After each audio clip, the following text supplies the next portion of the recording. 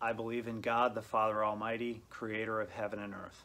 I believe in Jesus Christ, God's only Son, our Lord, who was conceived by the power of the Holy Spirit, born of the Virgin Mary, suffered under Pontius Pilate, was crucified, died, and was buried.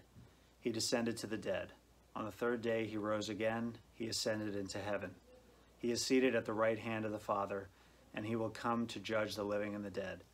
I believe in the Holy Spirit, the Holy Catholic Church, the communion of saints, the forgiveness of sins, the resurrection of the body, and the life everlasting. Amen.